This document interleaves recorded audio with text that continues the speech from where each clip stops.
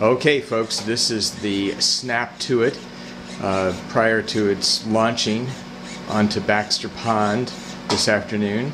And I just wanted to show you that it's been decorated for Christmas. The uh, lobsterman at the helm is um, Bert Beals, and his sternman back here is Bimbo Moose. And Barbara is going to run the controller and crank her up on dry land before we take her out to the water. Okay, Barbara, so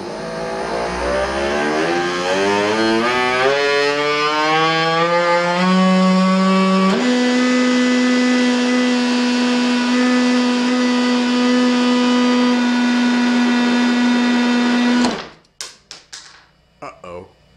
I think we've got a problem, Houston.